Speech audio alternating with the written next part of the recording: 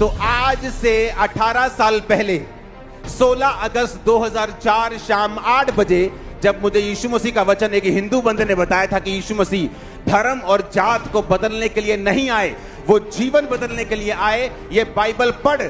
अगर बाइबल में ईसाई धर्म नाम का शब्द मिल जाएगा तो बाइबल पढ़नी बंद कर देना, क्योंकि उस समय मैं टूट चुका था अपनी बीमारियों से, सुसाइड करना चाहता था। नशा ओवरडोज लेके सुसाइड करने को कौन सी गाड़ी के नीचे, कौन से फाटक के नीचे आना तैयार कर चुका था पूरी प्लानिंग को? और रात को आठ बजे उन्होंने कहा, आ, हमारा घर देख ले जहाँ हम चर्च लगाते हैं। उसको उसको देख ले। और मैं नशा करके उस शाम चर्च के अंदर एंटर किया। शुक्र है खुदावन का कि चर्च के लोग उन लोगों की तरह नहीं जो आने वाले लोगों में अगर तंबाकू निकल आए तो उसको मार देते हैं।